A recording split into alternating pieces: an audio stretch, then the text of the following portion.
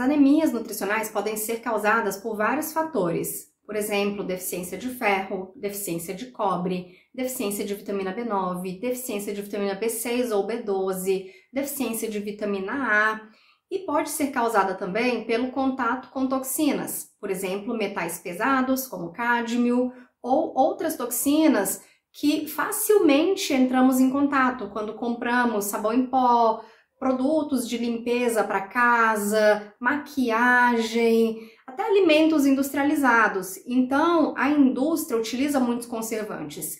E um dos produtos com o qual a gente vive entrando em contato é o octilfenol. E o octilfenol altera o nosso hemograma. Ele dificulta o uso do ferro. Então começamos a nos sentir cansados, o cabelo começa a cair, a memória é prejudicada.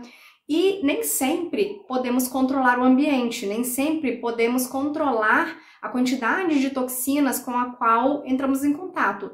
Então é muito importante uma dieta variada. Estudos mostram, por exemplo, que dietas ricas em ácido clorogênico ajudam a combater os efeitos do octilfenol. E o ácido clorogênico está presente na alcachofra, no café, maçã, pera, berinjela, tomate, erva mate. Então é muito importante que você tenha na sua dieta uma abundância de alimentos de origem vegetal e os mais variados possíveis, os mais coloridos possíveis. Não adianta só o único vegetal que você consome todos os dias ser tomate e mais nada, até porque esse tomate também pode vir cheio de toxinas, cheio de agrotóxicos. Então varia ao máximo, varia as fontes, tente comprar de produtores locais, pequenos produtores que usem uma quantidade menor de pesticidas e continue variando bastante a sua dieta e limitando o consumo de alimentos ultraprocessados.